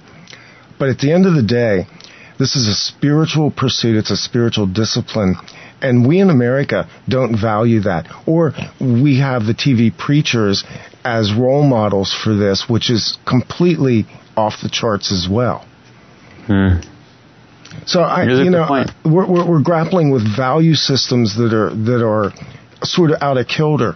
When you deal with the Asian cultures, there's an ingrained aspect of loyalty to, I think, teachers. And in Africa, like you said, we're dealing with beyond third world right now in terms of an economy. Yeah, and it it doesn't really matter who's doing the viewing. As long as you get the sessions in to do the experiments, we can change the world. But we have been dealing with the same number of there's there's right now there's fewer than 20 world class viewers on the planet. And we just can't we have to have like 2000. We can't deal with 20. Yeah. Yeah, well, when you're not talking, you- that's kind of a barometer, isn't it, of the critical mass of consciousness expansion that's that's occurring. yeah, it is. Um, It is. many people think that remote viewing's new. Um, I spent 10 years uh, doing studies into scriptures, and Mhm. I can locate remote viewing in the Hebrew Bible. Uh-huh. And so this is not a new thing. There's a lot of arguments about whether it was weaponized by the military and the intelligence agencies because of some of the people, even some of the people that you work with. And I think there's an aversion to that w- within certain communities. But the fact of the matter is that they were the people that had the money to finance it.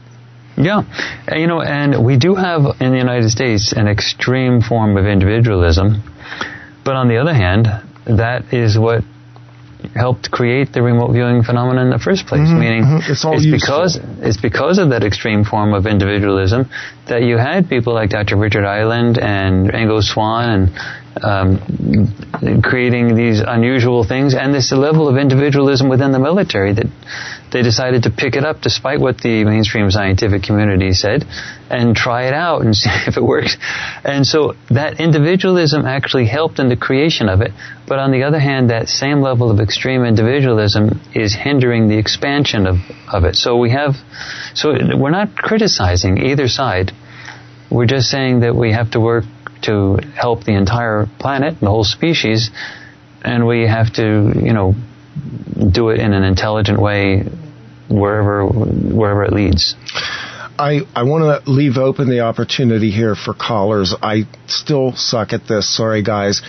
Anybody out there that wants to call in, uh, 717-910-0554. That's 717-910-0544. The numbers are actually posted on uh, offplanetradio.net.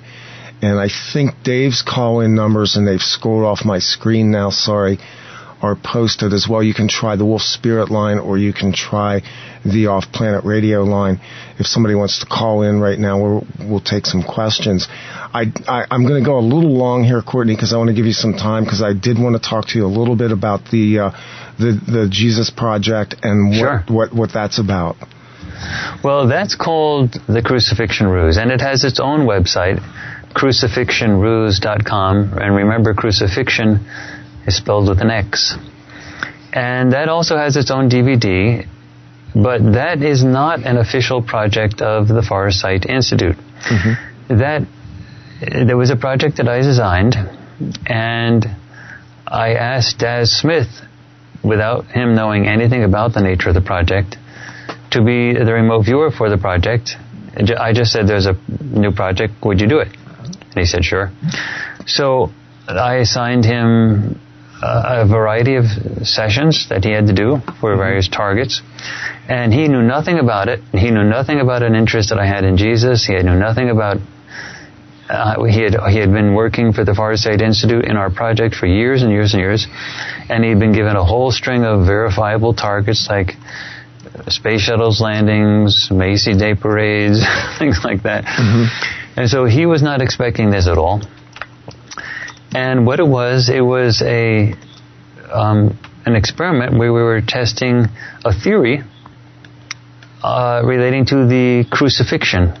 Now, the idea was actually raised by Jane Roberts and someone called Seth. Seth, yes, I'm familiar Seth, with this. And, and the Jane Roberts books. Uh, and the idea was that it was said in the books that Seth said that Jesus himself was never actually crucified. Yes. But there was a conspiracy, and Judas took part in this conspiracy. And the whole idea was that Judas's role was to lead the authorities to a stand-in, and that this person was a mentally ill, deluded person who thought he was the Messiah. And basically, a few of the disciples, not many, just like a couple, went up to him and said, You know, you're right. You're the one. You are the guy. And by the way, we need to have a fulfilling biblical prophecy, prophecy thing. We need to have a sacrifice. Someone needs to go through the sacrifice. You want to do it? I mean, you are the one. And the guy said, Sure, I'll do it. And so they drugged him so he wouldn't feel so much pain. And Judas led him, led the authorities to that person precisely so that they wouldn't go after the real Jesus. And that's why Peter denied him three times because Peter wasn't in on the ruse and he really didn't know the guy. And that's why they got rid of the body the next day because he, that was incriminating evidence and the whole thing. And so it was, I, I. You're going to piss was, a lot of people off here, aren't you? Yeah, maybe so, but the point is, this was originally raised by Seth, who was a yes. non-physical entity that was right. channeled by Jane Roberts. And I don't do channeling, but Um, it's a very impressive set of books that is held Well, I've in the heard Yale. some of the original recordings as well. I've heard a lot Yeah. of the Seth material. Yeah. And the Seth original manuscripts and all other communications is held in the Yale University's uh, Manuscripts and Archives Division. It's a, everyone knows it's an unusual set of documents. And so I was I was raised as a Christian, so I sort of didn't believe that whole thing of this Mm-hmm, Yeah, I this stuff struggle with with Seth. it too. Yeah. But you know, it, the rest of the Seth books were so there's 11 of them were so closely matching to the minute detail of the things we found out about the nature of physical reality with respect to time and everything else that I said, well, maybe this thing about Jesus was right. So I designed this thing to, as a sort of a whodunit project. So we targeted Judas at the, at the Garden of Gethsemane. We targeted where Jesus was during the crucifixion. Like, was he on a cross or was he someplace else? We targeted all sorts of places. Like, if you were a detective, you'd say, well, who was, who was, who was, who was where at the moment of the crime? That type of thing. And Daz Smith was an expert who's worked for years with law enforcement with remote viewing. So he was perfect for doing criminal investigations. So this seemed like a typical type of investigation like that. Who was where at different times? And, or where was who at different times, you know. And so what we did was we did all of these sessions and it turned out to be that all of the remote viewing data across all of these different targets completely corroborated the Seth version of events and nothing corroborated the biblical version of events. And everything was done totally blind with one of the with one of the absolute best military grade remote viewers on the planet earth um, in in a in a way that you just can't walk away from. And now mind you I've I've been a Christian my whole life and I've been the cantor, soloist cantor in the Catholic Church here in Atlanta and the Basilica, no less, for a very long time. Mm-hmm, I mean, you, mm-hmm. I mean, the only thing higher than that is the priest. Yeah. I mean, I, I was, I was the guy who would sing when they were giving out the body and the blood. Wow. I was the guy in the, I was the guy in the, who was singing, you know, the, the Mozart, the Mozart stuff and the Bach stuff and the, I was singing all of the, I was I was the guy doing the singing when they were doing the body and the blood stuff. And so for me to get this these results was the, the only way I was able to do this is I was more curious I, to see the science of it than I was driven by the faith of it.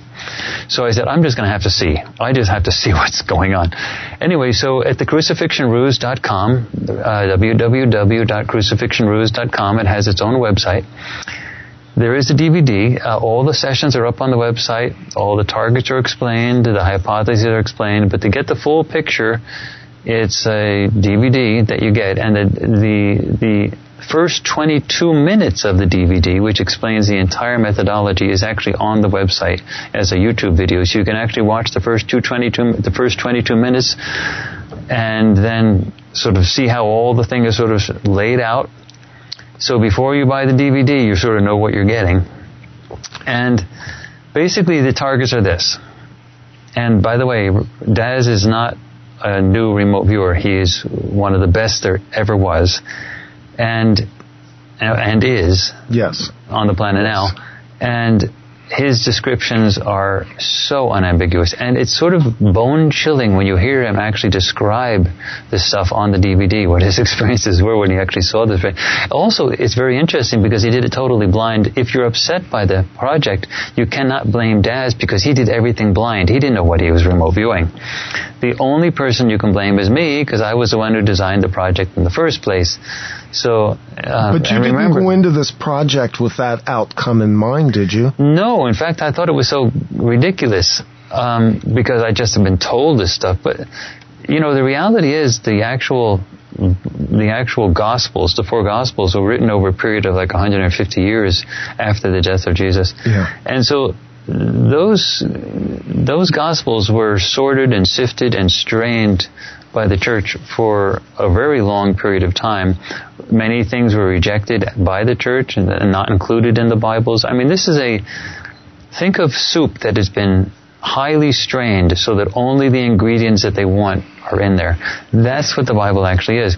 And there's only the Gospel of John that absolutely says that Jesus was like God yeah. as a son of God. Yeah. The other gospels don't actually say that. Well, and then and, you go into the Gnostic books and you have completely different stories that have baffled yeah, people. And there's the Gospel those. of Judas, yeah. which mm-hmm. which is, um, anyways, these results when you look at it in the result in the end, what you end up seeing is that Jesus was a much more interesting, much more wonderful, and much more incredibly great being than anything the church says. And you have to see the whole DVD to understand why I can say that after you hear that the ruse, that the, that the crucifixion didn't happen the way it did happen, it just wasn't him.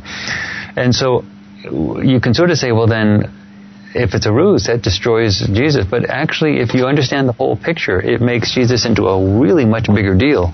But you have to understand the whole picture. So Jesus was there uh, we, we looked at him at the end of his physical existence, and he was at the end of his physical existence. He was surrounded by his disciples, uh, and they were they were off the scale in terms of excited. They knew something major was happening. They knew that the world was going to change. it was so, and this guy Daz Smith was the is the first person to actually poke his head in and actually see Jesus and all of these people doing this stuff. We also have, um, we did the target was Judas Iscariot during the actual betrayal, the famous Garden of Gethsemane scene. And there was clear criteria for being able to figure out whether he was trying to betray Judas or whether he was actually trying to help someone that was far away, who was not actually in the Garden of Gethsemane. And Uh, you know, Jesus wasn't there. And also we have another target, which is Jesus at the, at the time of the so-called betrayal. So during the Garden of Gethsemane scene, where was Jesus? Well, he wasn't at the Garden of Gethsemane. And in the DVD, I clearly explained where he was and what he was doing. And he was active. He was active in all of this. He wasn't just a bystander. he was coordinating all so of this. this. this was a conspiracy. It was a conspiracy of a few physical beings and a huge number of what you might call heavenly hosts, which are beings that you didn't see, that Jesus was a, he was an extremely advanced being and he was able to talk telepathically to them. So he was actually talking like verbally and moving his arms, but there was nobody around him. he was communicating. Think of you right now. How would you communicate with someone far away? You'd communicate with a cell phone. So it was like he was using a cell phone, but he wasn't. He was using his own mind. So he was communicating and orchestrating. I mean, he was making sure everything worked out. He wanted this thing to actually work. I mean, if somebody was actually going to go through a, um, an actual crucifixion and, and go through this thing, he didn't want it to be for a waste. He wanted the person to actually be doing something good. Now, it so turns out, and I explain this in the DVD, that Jesus actually physically could not do the crucifixion because the only way he could do the crucifixion, you have to understand quantum mechanics, he would have had to have vibrated in a way that would have been compatible with the level of vibration of the people who were polarized, confronting good and evil, things, things as bad and right, and mm-hmm. you know, uh, everything that you experience must be in a state of superposition with you. And the only way Jesus could be in a involved in a polarized event is to be polarized himself. And he literally couldn't do that without lowering his vibration to ours to be compatible with us and then he would have been lost in these raging waters just like we are. Think of someone who dives into the ocean to save somebody else and then finds that he gets swept away in the currents himself. That's what would have happened to him. So, and I explain this in, in the DVD and connect it with quantum mechanics. So Jesus was making it work, but he wasn't the actual guy on the cross. And so then we also got Judas Iscariot at the time of his physical death. Now the Bible is ambiguous. The Bible says at one point that he collapsed in a field and his bowels gushed out. Yeah, yeah. Another another point the Bible says he hung himself, a different yeah, story. Yeah. Well, none of that happened. He was actually captured and imprisoned by the military authorities and he died at their hands in a prison. it was fascinating. We had the whole story of exactly what he was going in his mind and everything, all the details of what he was thinking about and everything, all collected under totally blind conditions It's absolutely riveting. And then we have what Jesus was doing during the actual crucifixion, what he was actually engaged in. He was busy. He was all by himself, but he was talking to the heavenly host or whatever. He was coordinating everything. He made the event actually work. And finally, we did a remote viewing of the actual person who was crucified. And Seth was totally right, and Daz nailed it. The guy was mentally ill and deluded. It was an adventure gone bad. Um, it was it was a perfect description, and so uh, it's um, it's a it's something that you just have to see. But I do want to say one thing: if you have an open mind, as you see by the time you get to the end of the DVD, my personal opinion is that this does not destroy Jesus and what Jesus' message is and the impact and the importance of him, it fulfills it. And it makes it a much bigger deal, a much better thing, a much greater thing. Jesus is much more interesting, much more intelligent, and much more lovable, uh, understanding, uh, much more interesting than anything that's taught by the churches. The churches basically say he was a stoic God that died for your sins, all of which is wrong. He didn't die for your sins. There's nobody that can die for your sins. Yeah. No one can wipe the slate clean or anything because essentially, well, it's, it's complicated, but there are no sins for, to die for. Yeah, yeah. We're all, we're, first of all, nobody really dies. Right. And secondly, all events happen multiple versions of all of them. So, for example, you can say, well, look at World War II. That was terrible. Well, this means that there's a version of world, there's a version of the 20th century that happened in which none of the major wars actually happened. And there's another version, equally as real as the one we remember, in which the World War II ended with nuclear catastrophe, much worse than what we happened.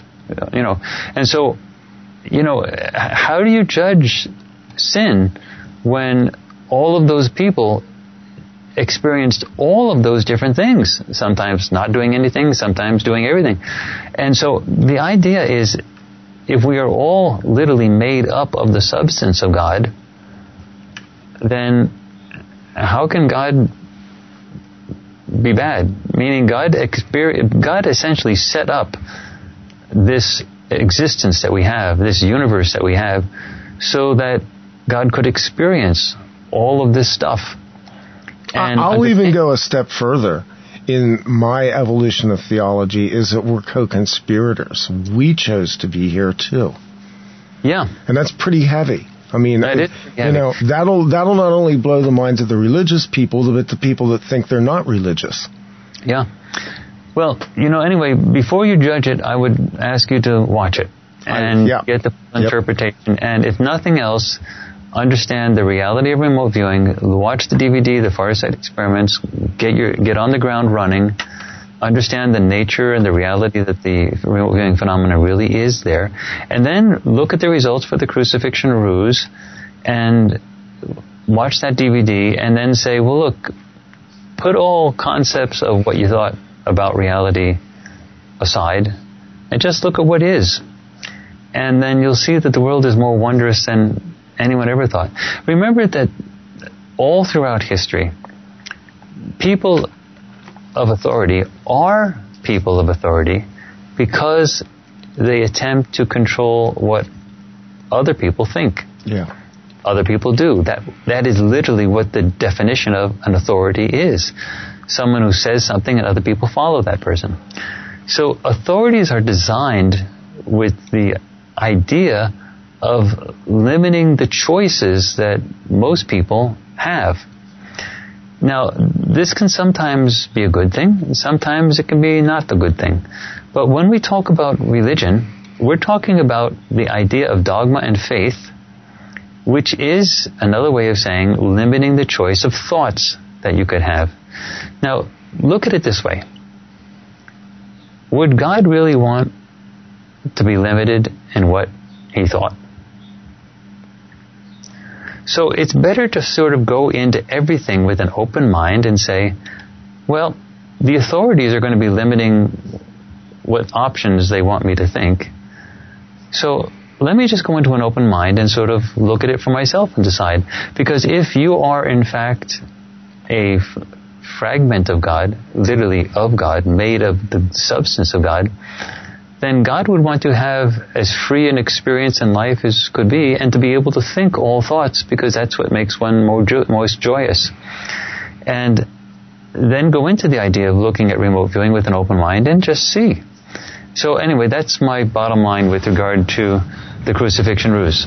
Just keep an open mind, look at the data, and decide for yourself. Yeah, that's uh, it's deep and it's heavy and it's interesting and uh, it's challenging, and I like it. Courtney, it's been a great over a little over two hours here. It's been so much fun, and I want to get you back again. Maybe we'll do that music thing that we talked about. I'd um, love to get back. That'd be great, Randy. Give your give your websites out and anything uh, that you, that you want to leave the audience with tonight. Well, the big thing is if you go to the Institute's website, www.farsight.org. Oh, let me say, the reason why the crucifixion ruse is not official project of the Farsight Institute. We had a board meeting, and the board, uh, which is composed of Glenn, Glenn, Glenn Wheaton, Lyn Buchanan, myself, and a, another academic called uh, Bruce Kaufman, they decided unanimously, I finally went along with them, that it was too controversial a project to get the nonprofit institute caught up in it. Mm-hmm. So decided release it as an independent project only because of the controversy. And they decided this without ever looking at the data. So it was just a topic itself. So that's why it's been released as an independent project. Nonetheless, when people buy the DVD, it does go to fund the stuff we're doing with remote viewing. So you're helping the whole remote viewing project with it. Anyway, the website is for the Farsight Institute, www.farsight, like seeing far, F-A-R-S-I-G-H-T, dot org, O-R-G, because we're a nonprofit. And the other website for that independent project is called uh, www.crucifixionruse.com. And there's some other websites we have, such as farsightpresentations.com, which is a movie website that we're developing. But this is the, um, the, the two websites that you really should do are the Farsight Institute's website, www.farsight.org, and uh, www.crucifixionruse.com. And again, you're helping you're helping save save the world in my particular view when you not just purchase the DVDs but also watch them and get your friends to watch them. Good stuff. Thanks, Courtney. We're going to close it out for this week. Um, coming up next week, uh, gosh, I, I forgot. I completely forgot who. Oh, yeah. Right, here we go. Judy Carroll will be here next week. She's going to talk about the Zeta messages. And uh, the following week, I have Dr. Louise here. Man made the chronicles of our extraterrestrial gods. That's going to close it out for this week. I'm Randy Maugans. This is Off Planet Radio. And you can find us during the week at offplanetradio.com as well. See you next week. The truth is out there. It's inside you. Keep looking for it. Thank you.